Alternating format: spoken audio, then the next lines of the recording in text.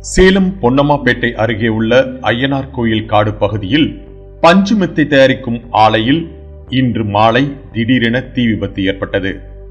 தீ மலமளவென பரவி குடோன் முழுவதும் பற்றி எரிய ஆரம்பித்தது. உடனடியாக உள்ளே இருந்த ஊழியர்கள் பதறி அடித்து வெளியே ஓடினர். உடனடியாக தீயணைப்பு துறையினருக்கு தகவல் கொடுக்கப்பட்டது.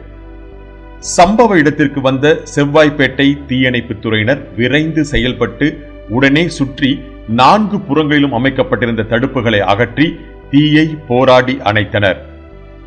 தீ மலமளவென பரவி அருகிலுள்ள பாத்திர குடோன் அருகே நிறுத்தப்பட்டிருந்த மூன்று ஆட்டோக்களிலும் பரவியது.